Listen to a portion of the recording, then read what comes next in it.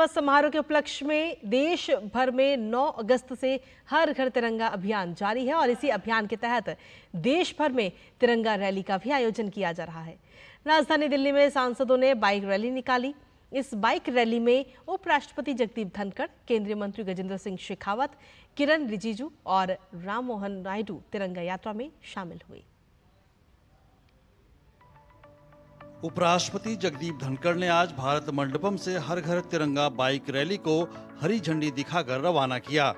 इस अवसर पर उपराष्ट्रपति ने देशवासियों को स्वतंत्रता दिवस की शुभकामनाएँ दी और कहा कि यह तिरंगा यात्रा विकसित भारत के लिए एक मील का पत्थर के रूप में हमेशा याद किया जाएगा। हर घर तिरंगा एक अभियान है जो आज़ादी के अमृत महोत्सव का हिस्सा है।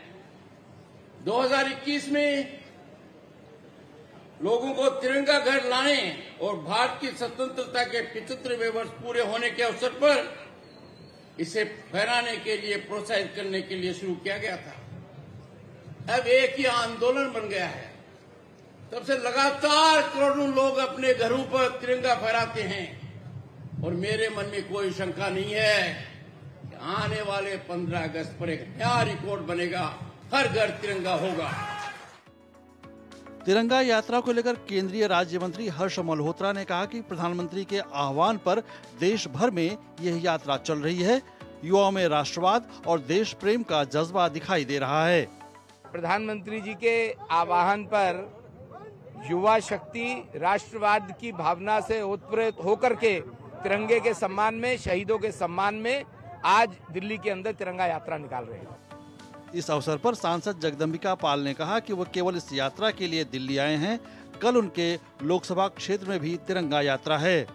मुझे ये इतना उमंग और ऊर्जा देती है कि हमारा हाउस फ्राइडे को लोकसभा बंद हो गया साइन डाई हो गया। मैं अपनी कंस्टिट्युएंसी में चला गया था। लेकिन तेरह तारीख के लिए मैं खास तौर से इस तिरंगा यात्रा में शामिल होने आया जबकि कल मेरी क्षेत्र में भी फिर तिरंगा यात्रा। हर साल की तरह इस बार भी तिरंगा यात्रा में युवाओं का जोश नज़र आ रहा है। सुबह से ये तिरंगा यात्रा यहाँ पर निकाली गई है, जो कि भारत मंडपम होते हुए, इंडिया गेट होते हुए, इंडिया गेट सर्कल पर मेजर ध्यानचंद स्टेडियम में आकर खत्म हुई है। लेकिन एक बात तय है कि इस यात्रा से कहीं ना कहीं लोगों के बीच देशभक्ति की जो उमंग देखने को मिल रही है, वो अपने आप में अविश्वसनीय है और साथ में लहराता हुआ तिरंगा लोगों में ये संदेश देने की कोशिश कर रहा है कि एक भारत श्रेष्ठ भारत। कैमरा पर्सन राधेकृष्ण के साथ निशांत राय, डीडी न्यूज़, दिल्ली।